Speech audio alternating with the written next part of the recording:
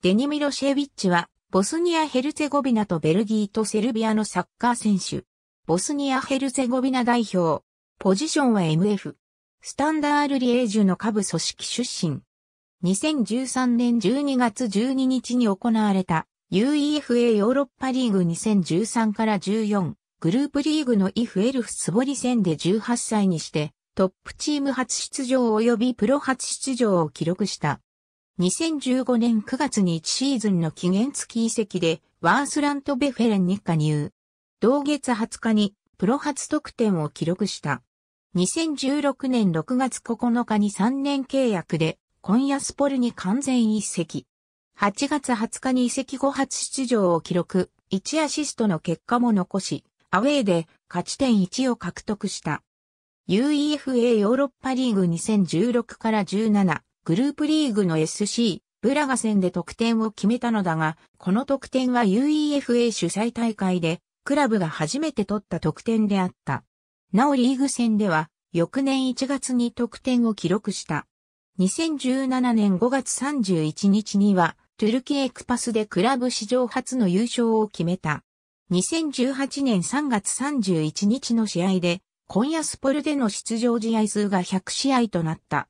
2019年1月に2022年6月まで契約を延長した。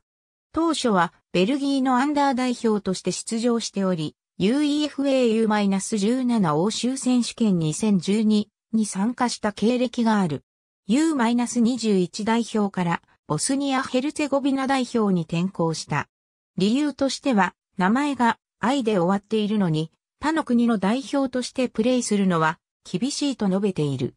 2015年8月に国際サッカー連盟に転向が認められ、U-21 代表として出場した。2016年2月には、ボスニア・ヘルツェゴビナのスポーツ記者によって行われた2015年の最優秀若手スポーツ選手賞に選出された。2017年8月には 2018FIFA ワールドカップヨーロッパ予選グループ H のキプロス代表、ジブラルタル代表戦に臨む A 代表メンバーに選出された。しかしこの両試合では出場がなく、代表初出場は2018年3月23日に行われたブルガリア代表との親善試合であった。2019年3月23日に行われた UEFA ユーロ2020予選グループ J のアルメニア代表戦で代表初得点を記録した。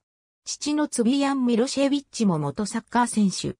ありがとうございます。